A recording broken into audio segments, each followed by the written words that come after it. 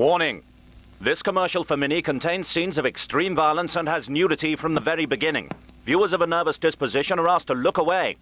Now. There's one dear. There's one.